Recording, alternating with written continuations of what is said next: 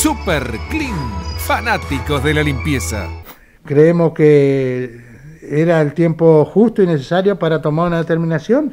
No por eso, sino por la necesidad que están padeciendo estos compañeros después de tanto tiempo, ¿no? Así que me parece que si no había voluntad habernos hecho viajar a Buenos Aires y donde nos dijeron directamente que iban a analizar para ver en qué podían acompañar, realmente no estaba la decisión política de, de mandar ningún tipo de ayuda para los temporarios, ¿no?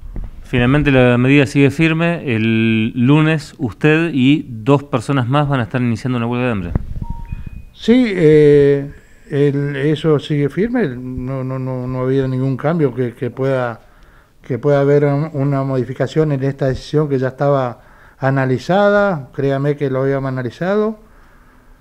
Luego de, considerar cuál, alguna otra alternativa, como un corte de ruta, lo cual nos, nos hubiera llevado 10, 15 días con los exponiendo a los compañeros con hambre, con frío, con el gasto también que conlleva las movilizaciones, el convocar a, a los compañeros al, centro o a la paz al centro cívico tampoco hubiese sido conveniente como estaba hoy la situación de pandemia, así que creemos que esta situación es la más leve dentro de, la, de lo que puede ser eh, convocar a, a, un, a una masa de gente o de compañeros, en este caso al centro cívico o a un corte de ruta. Así que esto está, ayer a la tarde bien lo decía, estuvimos en la reunión, que habíamos quedado ya en cuarto intermedio con los delegados de los establecimientos, habíamos quedado para el día 20, que si no había una definición, eh, le anunciaríamos las medidas a seguir.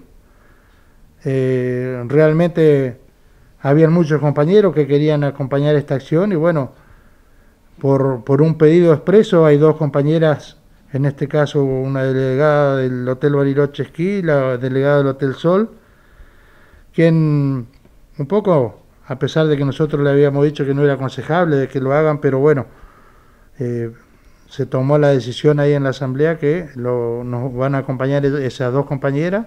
Esto demuestra que realmente si dos compañeras que son madre de familia, sostén de hogar, están dispuestos a llegar a una situación tan extrema es porque realmente no es que los dirigentes queramos inventar algo, sino que la necesidad premia y con una con un condimento que, que, también es a tener en cuenta qué va a pasar en, el, en la futura temporada del turismo estudiantil.